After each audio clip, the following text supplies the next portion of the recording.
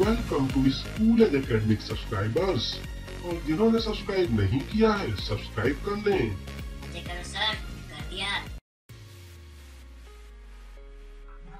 अभिनंदन दोस्तों आप देखना शुरू कर चुके हैं हमारा डिस्टेंट वेब सीरीज़ और हम डिस्कशन करेंगे आधार रजिस्ट्रेशन में कौन सा आपने ईमेल आईडी रजिस्टर्ड किया है।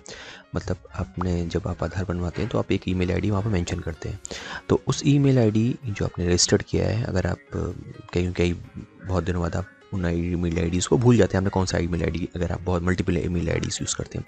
तो कौन सा ई मेल आई आपने आधार में यूज़ किया हुआ है? अगर आपको ये जानना है तो इसको जानना अब ऑनलाइन बहुत आसान हो गया है।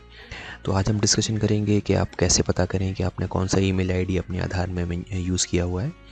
और इसको जानने के लिए आपको करना होगा। पहले तो आपका जो जैसे आप स्क्रीन देख रहे हैं रेज आप W W resident dot U I D dot G O V dot in पर आप verify verify email and mobile number तो आप इस कैटेगरी में जब जाएँगे तो वहाँ पर आपको, आप माई आधार कैटेगरी में जाएँगे। माई आधार कैटेगरी में आपको आधार सर्विस आधार सर्विसेज़ में verify E mail I D आप जब वेरीफाई ईमेल आईडी में जाएँगे तो आपको स्क्रीन पे दिख रहा होगा, वहाँ पे आपको ट्वेल्व डिजिट आपको आधार नंबर मेंशन करना होगा और आप, जैसा आप स्क्रीन देख रहे हैं मोबाइल नंबर और ईमेल आईडी आप ईमेल आईडी जो आपको याद हो वो ईमेल आईडी आप वहाँ पर डालें, उसके बाद में कैचअप आएगा, वो स्क्रीन पे आपको कुछ डिजिट्स दिख रहे होंगे, वो आप सबमिट करेंगे। जब सबमिट करेंगे तो आपकी ईमेल आईडी पे ओ जाएगा और उसके साथ में आएगा कि your data is welcome your data is verified और इंटर यू नंबर और तो आप समझ आइए ये ईमेल आईडी आपका रजिस्टर्ड है।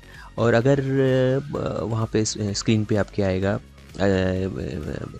mention email ID is not verified in our database तो इसका मतलब ये ईमेल आईडी आपने आधार रजिस्टर्ड करने के समय नहीं दी हुई है। तो इस तरीके से आप जान पाएँगे कौन सी ई ईमेल आईडी आपने आपकी आधार में रजिस्टर्ड है और कौन सी नहीं है। तो दोस्तों, ये था हमारी पेशकश, जिसमें हमने बताया कि आप कैसे अपनी रजिस्टर्ड ईमेल आईडी को का पता करें, आधार में कौन सी रजिस्टर्ड आईडी आपकी की रजिस्टर्ड है। धन्यवाद दोस्तों, कोई भी सजेशन फीडबैक तो अवश्य दें, सब्सक्राइब करना ना भूलें।